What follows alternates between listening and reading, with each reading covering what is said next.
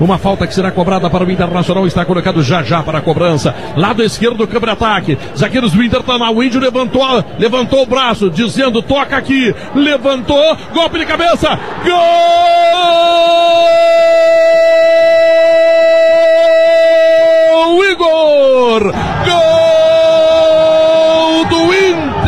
Internacional, 34 minutos e meio. Cruzamento do Jajá. O Inter merecia, porque o Inter é muito melhor do que o Palmeiras do Filipão. Disparadamente melhor do que o Palmeiras do Filipão. Merecia o gol e o gol está acontecendo. Empurrando o Palmeiras para o rebaixamento. Empurrando o Palmeiras para as últimas colocações. E começando a marcar três pontos importantes. Gol do Igor. 34 minutos e meio. Um para o Inter. Zero para o Palmeiras, Gabardo. Um resultado importantíssimo, fundamental no momento da equipe com desfalques.